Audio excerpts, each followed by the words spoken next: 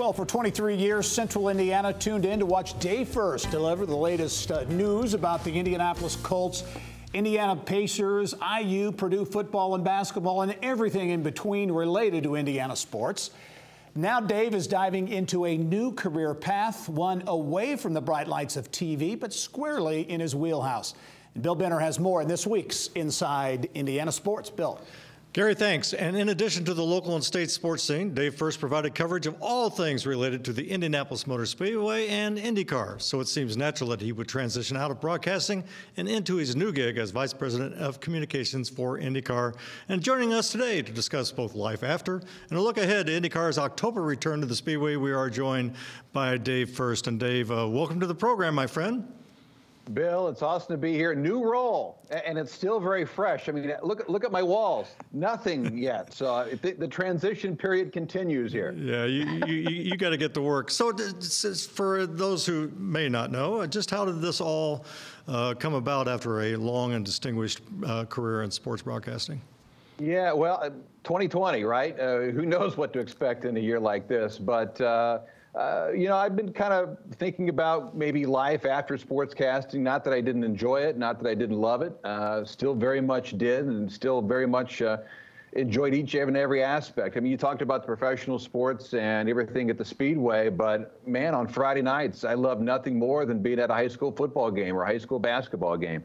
Uh, and so I think it was about, I don't know, early in the spring, early summer, things just kind of developed. I got a phone call from uh, the folks at Penske Entertainment and they say, hey, would you be interested in talking about something like this? And I'm like, I, there is no question that the Indianapolis Motor Speedway and IndyCar racing and the NTT IndyCar series has been a passion of mine for a long, long time. And, and part of it is because uh, one of my predecessors at Channel 6 was the late, great Tom Carnegie. And, and he knew and appreciated what the Speedway had to offer for this city. And I kind of tried to, tried to pick up that uh, baton and kind of ran with it at Channel 6. So I, I loved everything about the Speedway. And I thought, well, you know what? This is an excellent opportunity because of the Penske acquisition. Uh, this is a wonderful opportunity to see how far IndyCar and IMS can really go. And it's been a wonderful journey. It's only been a couple of weeks right now. Uh, my head's still spinning a little bit. I mean, I literally signed off the air at Channel 6 on a Wednesday at 6 o'clock, and it was in this office the next day at 8.30 in the morning. So the transition's been quick, uh, but it has been uh, something that uh, I've thought about following, and I'm so glad that I've done it. And the pandemic notwithstanding, I think there is cause for cautious optimism for the future of IndyCar in general, and certainly the Indianapolis 500 and the Speedway and all the things that are going on out there uh, in particular. But uh, again, IMS and the NTT IndyCar Series, they are hand in hand, and, and one kind of lifts the other and there's no question about that. And I know that fans haven't been able to come out and see yet. Uh, remember, tickets are on sale. Yes, we've got fans for the Grand Prix coming up uh, on Friday and Saturday at the Speedway, but fans really haven't been able to take in some of the changes and the improvements and the things that, that Roger Penske has done literally from day one uh, when he talked about the, the, the, the acquisition. Uh, yes, it is a facility that is well over 100 years old, but when you go into it now, it looks anything but. It's fresh. Uh, the restrooms have changed. There's a fresh coat of paint everywhere. Video boards really at every turn. It is a much different looking Indianapolis Motor Speedway. And I know all the folks here on this side of the street, on 16th Street, and on the other side as well. Can't wait to welcome the hundreds of thousands that'll be there uh, next year and for years to come. And Dave, there won't be hundreds of thousands, but there will be some thousands uh, on, on, on hand for the, uh, for the Harvest Grand Prix coming up uh, next weekend, qualifying Thursday, races on Friday and Saturday, and so that's certainly uh, an exciting development. No question. Health officials uh, in the county and the city said, hey, look, you know, we can get 10,000 in there uh, each and every day. And don't forget, Sunday is a race day as well, not for the NTT IndyCar series. The sports cars are going to be there for an endurance race. It's a weekend full of racing. So socially spaced. Uh, everyone's going to be wearing masks, making sure those hands are nice and cleansed and whatnot.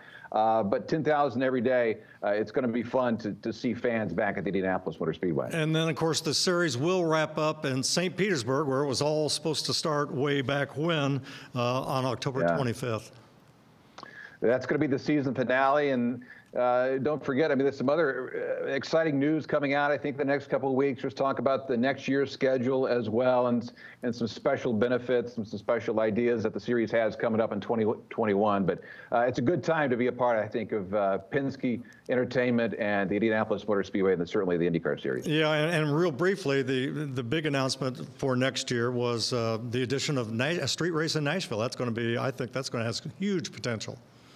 It's been talked about literally for years. Tony Cotman is uh, a developer. He designs racetracks. Does a wonderful job in doing that. And he calls that layout that he designed for the Music City Grand Prix uh, in Nashville probably one of the best designs he's ever uh, come up with or helped design. And so can't wait. It's going to come up in August, and there's already a buzz down there. Nashville is an international city, not just country music down there. Uh, obviously, you take a look at the other sports, NHL.